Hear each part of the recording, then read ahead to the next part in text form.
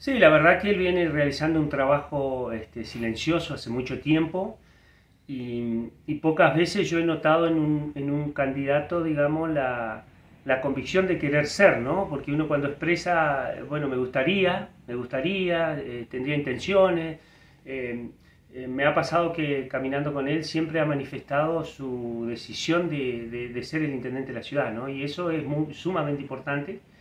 Em, y uno lo nota en las recorridas y en las charlas con, con los vecinos que lo convocan para, para mostrarle las problemáticas, para que además eh, Matías fue seis años funcionario y, de la gestión y conoce muy bien la problemática de la ciudad, que eso también es importante, pero además conoce muy bien eh, el funcionamiento interno de la municipalidad, conoce los, los, los equipos del, del, municipio, conoce a los empleados, conoce las fortalezas y las debilidades que tiene, digamos, tiene como una ventaja eh, sumamente eh, considerable respecto al resto eh, que durante este tiempo, digamos, no ha estado en, gestión y mucho menos cerca de lo que es el funcionamiento de la municipalidad. Por lo tanto, yo lo veo este, muy tranquilo,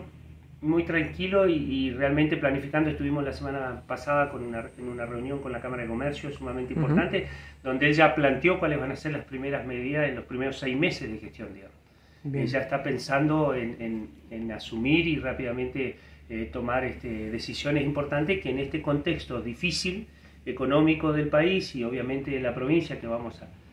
aspiramos también a, conducir políticamente a partir de diciembre, este, hay como toda una coherencia en, en, lo que va a venir, pero decisiones hay que tomar